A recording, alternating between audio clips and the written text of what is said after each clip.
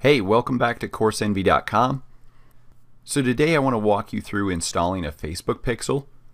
So I'm going to just jump right into Facebook here. Once you're logged in, just in the top left here, in this menu under Events Manager, click Pixel. And then in this drop down, select the pixel you want to install. So I'll be installing for this client's ad account. I've already created their Facebook page. I've already created their ad account.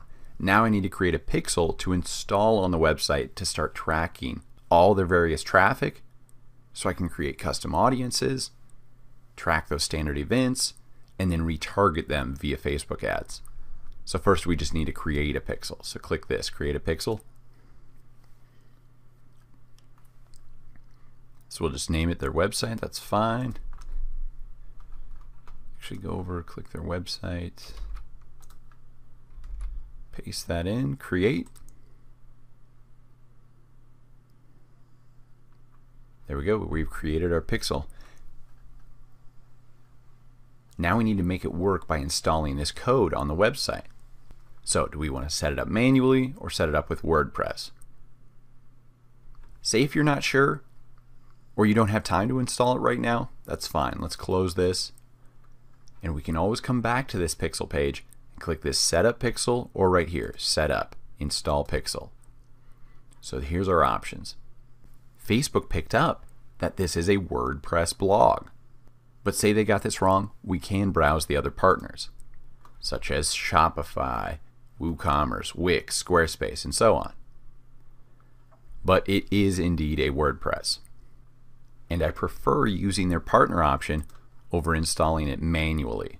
So we'll set this up WordPress. Here we go. So now we're downloading the plugin that includes our specific new pixel for this website.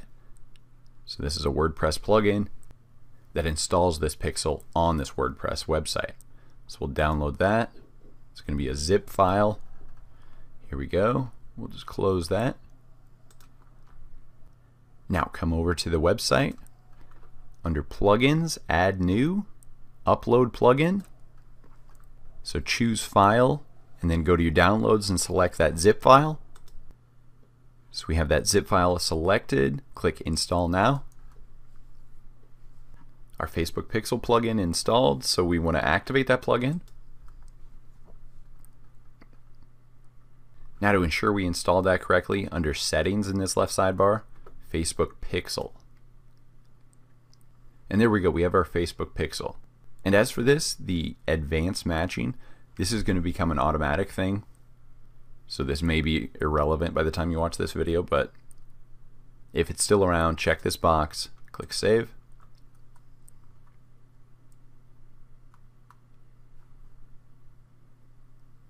And we're good. We have our Facebook Pixel installed, so we want to just follow through this. Go to Settings. I just showed you everything here. Plugins, Add New, choose that file, upload it, activate that plugin. Now we want to test and make sure the pixel was installed correctly. Enter the URL and send test traffic. There we go. There's our traffic. It's sent. It's loading. We're checking and making sure this pixel is firing when people go to the website. So yep, there it is, active. By opening up that website, the pixel is fired and we've tracked an audience member. So continue. And there we go. We have our pixel installed on our WordPress website. So we can just close this. Click refresh. So our status is now active. So now we can begin to set up audiences, create custom conversions, or we can even set up those standard events. So under Setup, Set up new events. So again, unless you're a coder or unless you hire one on Upwork, I don't advise using the manual install event code. But if you have that developer in place, great. You can use that feature. I like using and having my clients use the Facebook event setup tool. So we'll just click that. Now we just enter the URL where we want to track our first event. So I know they have this page. So we'll copy this one. We know this is equivalent to a lead. So we'll paste that in. Open website. Okay, so as you can see, here's the Facebook event setup tool. So what events occur on this page? So for this specific page, my client is seeking people to click on this button. So we'll do exactly that. Click plus, track new button. So here we go. We're clicking on this highlighted button to set up our event. Select an event. And now here's our standard event options. What do we want to track when people click on this button? So you can scroll down, and see what uh, standard events are available here. So depending on what you're trying to track, this could fall under the view content.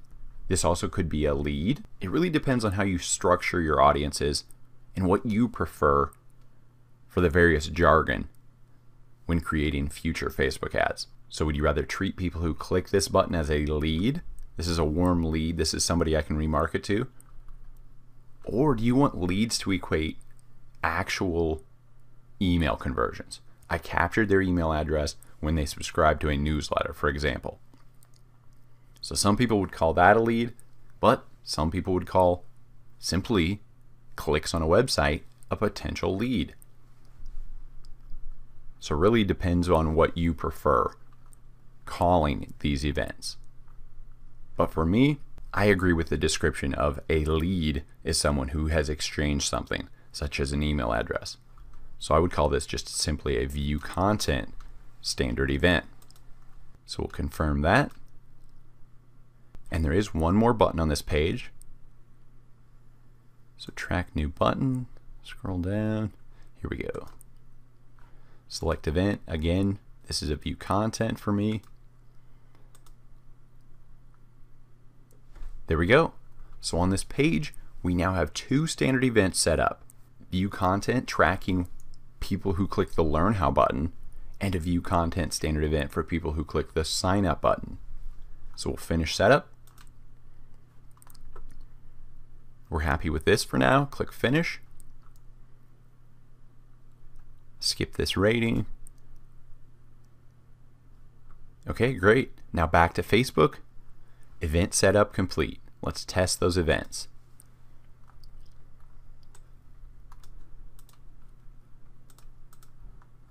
So again, enter that URL that you want to test the events on, the standard events. So open that website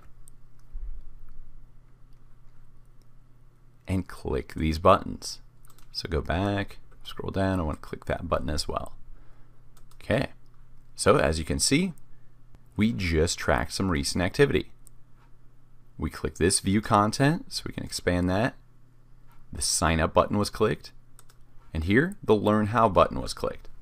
So currently, my client only has these two standard events they want to track on their website. But if I want to add future events, very easily come back to this setup, set up new events, and again, use the Facebook event setup tool to add more events to specific web pages on your website. So for now, I'm fine with just leaving these two view content standard events. And then obviously there's the page view. That's the base pixel code. Every base pixel code includes the page view event because that's the generic overall website. So what page was viewed?